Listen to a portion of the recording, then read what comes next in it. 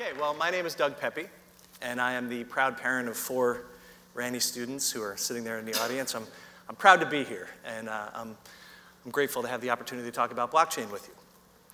So, the topic of my discussion is Bitcoin and blockchain. Let's have a little show of hands. Who here in the audience has heard of Bitcoin? A lot of people.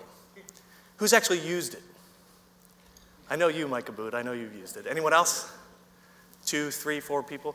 Okay, that's very good. This is going to be a non technical discussion where I'm going to put blockchain into a historical context for you. Now, I'm a lawyer. I studied mathematical math, macroeconomics. Um, I'm a Bitcoin miner. I'm not here to talk about the technical aspects of either of those things. I want to talk about the past, present, and future of Bitcoin. So let's start with a little bit of history. Who's this guy? Anyone know? this is actually one of the most important historical figures in the financial world that nobody has ever heard of. This guy is Father Luca Pacioli. He was born in 1447, he died in 1517, and he was a friar, a Renaissance man. He was Leonardo da Vinci's math teacher and a pretty smart guy. But that's not really what made him important. What made him important was that he was the father of modern accounting. So, what does an, an accountant from the Renaissance period have to do with blockchain? In 1494, Pacioli systematized the concept of a ledger. Double entry bookkeeping, dry subject. Not many people care about it. Well, it's really important to us because Pacioli's ledgers are everywhere in modern society. And let's give you a little example of this. Meet Marty. Marty wants to send a $100 check to his friend Jennifer for Jennifer's birthday. That's just a piece of paper. Jennifer takes that piece of paper and deposits it in her bank account. And through a series of entries in a Pacioli ledger, $100 is transferred from Marty to Jennifer. In fact, our entire financial system in the modern world is based upon and is, in fact, only a system of ledgers. Most people don't know this. Money is not something tangible. Money is, in fact, an entry on a ledger. Economists use the phrase M1 to describe the money supply. Well, M1 includes checking account deposits. They're just entries. And your money is an unsecured obligation. It's debt on a bank's balance sheet. It's an entry on a ledger. And that raises a very important question in the post financial crisis world. Whose ledger do you trust? Do you trust Lehman's ledger? How about Washington Mutual? They failed in 2008. Do you trust their ledger? Wachovia. Did you trust their ledger? They were sold because they went bankrupt.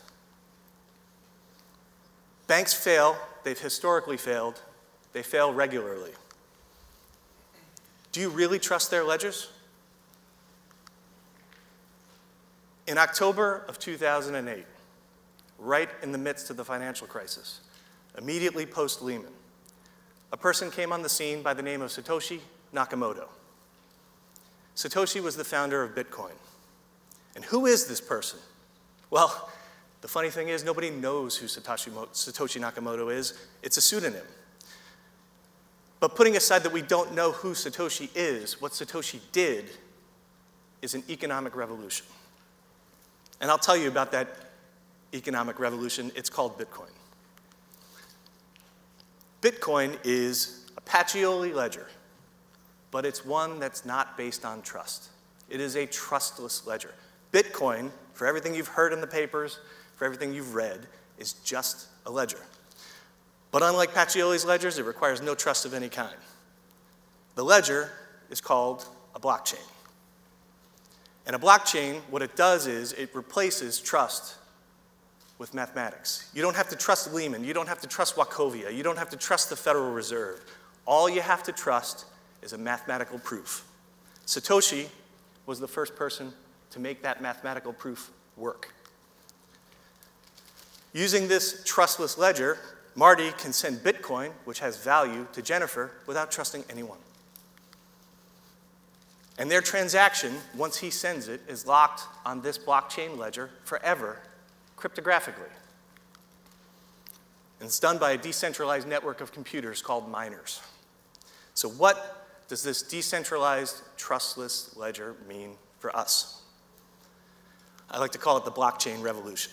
Close your eyes for a minute and imagine a world where you control your own money, not banks.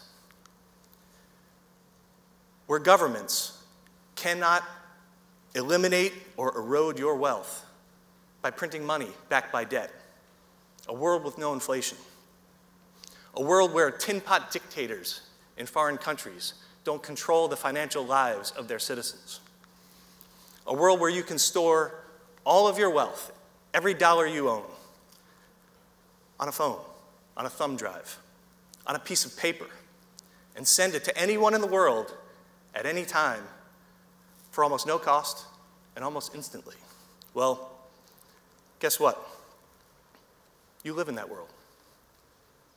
That's what Bitcoin does. So, we've talked a little bit about the past, we've talked a little bit about the present. Let's talk a little bit about the future.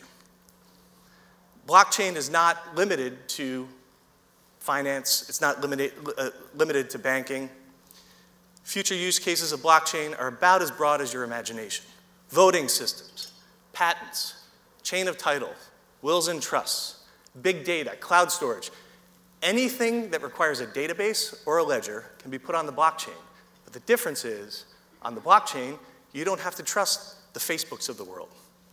You don't have to trust the Amazons of the world. You don't have to trust internet service providers. It's done on a trustless basis. And, and the most important for present purposes is computing. Let me tell you a little bit about Ethereum. Ethereum is a decentralized, trustless, global computer. It's a lot of words.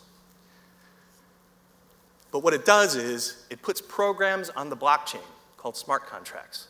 And those programs run autonomously. They run without anybody controlling them.